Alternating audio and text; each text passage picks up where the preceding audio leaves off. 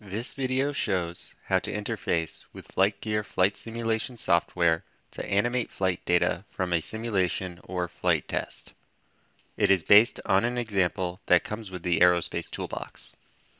FlightGear is an open source simulation software package available on the internet at flightgear.org. To get started, I need to load the recorded flight trajectory data located in a CSV file and store this in the variable tdata. After this data is loaded, I can utilize it to create a time series object to define the simulation time. I can now start creating the FlightGear animation object that will be the base for the simulation playback. I will define the time series source to utilize the time series object I created earlier. Furthermore, I will define the FlightGear animation object properties. These include the install directory, FlightGear version, and the geometry model. The HL20 is available with the Aerospace Toolbox installation. Now that I have the FlightGear running options set, I can configure my initial conditions. I set my initial conditions to match my data. I will also set my animation to run five times the speed of the clock. You will notice this speed when I start the playback.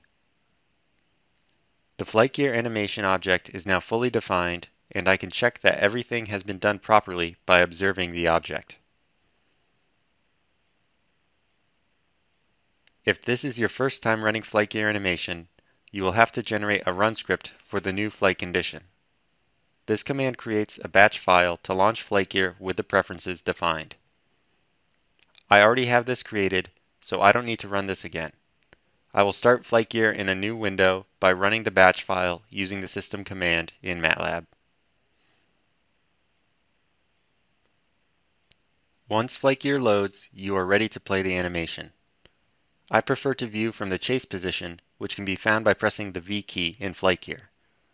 I can run the simulation by using the play command on the object previously created, and the Aerospace Toolbox will handle the rest. I can see the speed of the animation is fast because I previously defined the time to run at 5 times clock speed, and this option will allow me to quickly view a long simulation at any speed I desire. And that's how you interface with the FlightGear simulation software to animate flight data with the Aerospace Toolbox.